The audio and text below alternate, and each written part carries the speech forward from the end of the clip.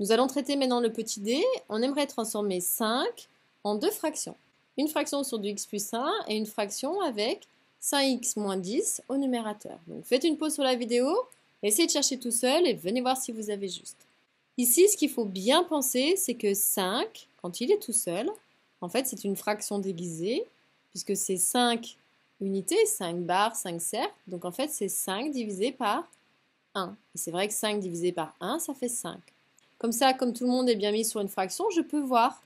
Pour passer à 1 sur x plus 1, j'ai multiplié par x plus 1. Attention, je ne peux pas ajouter. J'ai le droit seulement de multiplier. Comme j'ai multiplié au dénominateur, je suis obligé de multiplier au numérateur. Mais on avait déjà 5. Donc on le recopie. Ce serait 5 fois x plus 1 sur x plus 1. Et souvent, votre erreur, c'est que vous oubliez de mettre ici et ici des parenthèses. Donc là, ça va faire plein d'erreurs.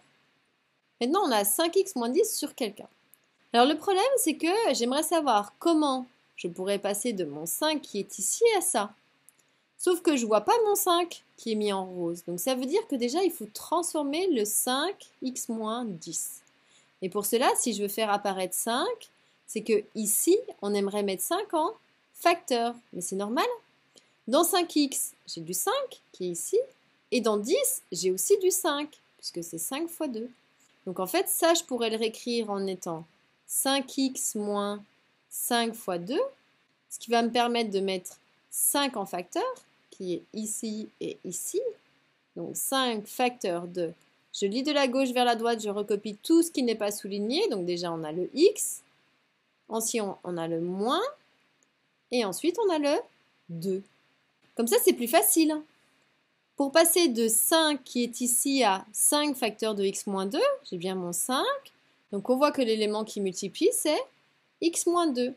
Donc si on fait fois x moins 2 au numérateur, je suis obligé de faire fois x moins 2 au dénominateur. Or, il y avait 1, donc 1 fois x moins 2, ça fait juste x moins 2.